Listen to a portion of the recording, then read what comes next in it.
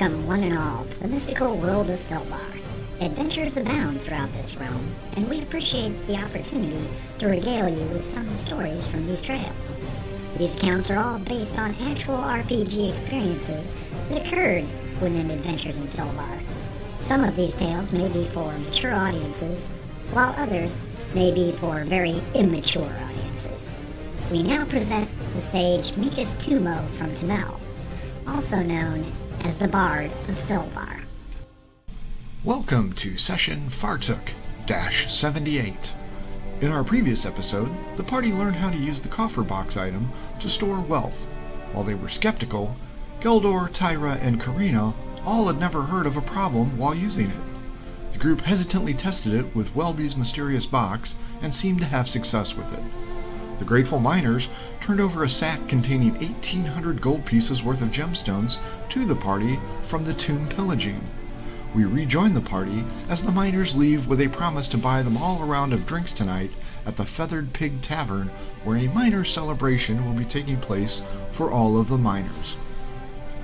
The group told Geldor and Tyra that they would be happy to attend the festivities and would seek them out. Once the pair left, the group eyed the strange magical device and obviously had lingering doubts over the safety of the item. Karina shared her opinion that it was widely used by rich folks in Phoenix, but was actually thrilled to see one in person.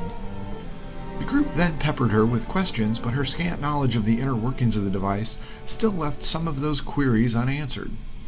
A vote was taken with a result of 5 to 1, with Bolger being the lone standout. Sister Elaine pointed out that each of them was entitled to 300 gold pieces worth of stones, and, if he wanted, could keep their share. Bulger pondered the offer but conceded that if the others were going to trust the magic box, then he would join them. We've been in this together long enough. I trust your opinions. I would like to keep some spending money, though, just in case there is anything interesting to purchase or consume in this town. The others nodded their head in agreement and decided that each would put the valuables in, but take out 300 gold pieces in coins, 50 for each, as spending money. Karina's eyes glazed at the amount, shrieking, 50 for me? The others laughed at her naive outlook. All told, the group put in most of their gold and jewels except for 600 gold pieces, which they split. A few moments later, the coffer flashed and Karina pulled out a parchment. A shocked look crossed her face and she dropped the paper. Is it gone? Did we lose it all? demanded the angry former sailor. Cabe snatched up the paperwork and scanned it, giving a low whistle in appreciation. The others, anxious for an answer, looked nervously at the bard. Well? demanded Bolger. Cabe announced that they had not lost it, and their endeavor had netted them over 3,400 gold pieces of wealth. Shocked, the group looked at each other in amazement not realizing how much they had been hauling around in the rough sacks. A group hug ensued, and Bolger did a jig of happiness at the news. Karina was blown away and stunned at the number. I. I had no idea so much wealth existed. We're rich! With everyone overjoyed at the news, Sister Elaine went to work dividing up the 600 gold pieces, which each member scooped up. As a point of order, said the cleric. This money does belong to all of us, but withdrawals should be made with the group knowledge. They all nodded their head in agreement and threw a hand into the middle, pledging on their word.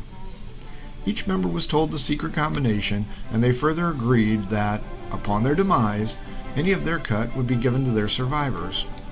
Both Bulger and Karina pointed out that they had no family, but instead felt that the group were their relatives, and their share should be divided amongst the survivors.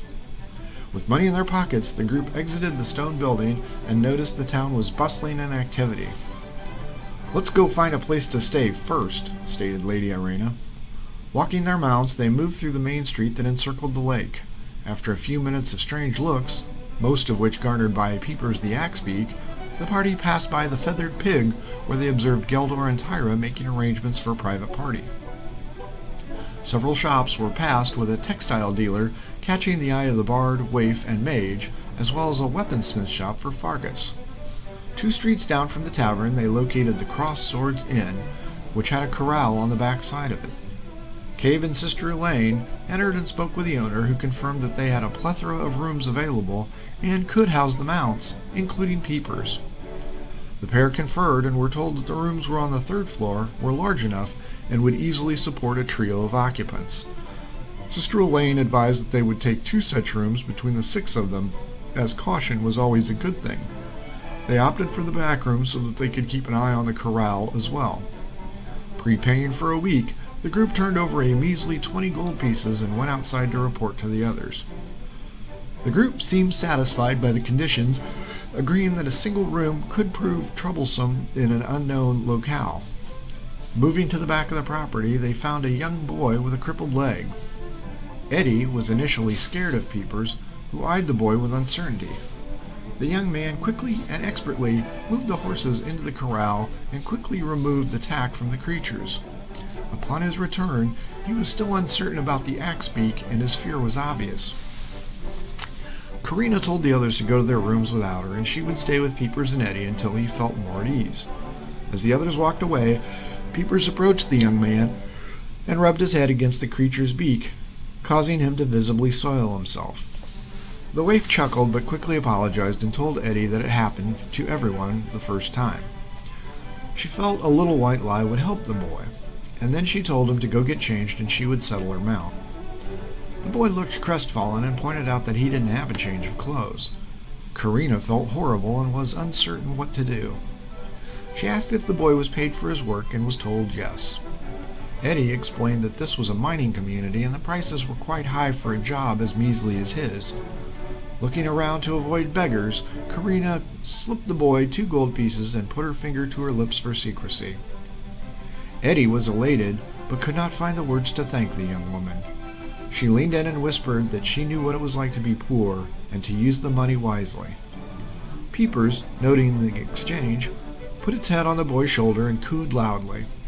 See, I knew you two would get along quickly. The boy gingerly petted Peepers, who continued to coo loudly at the attention.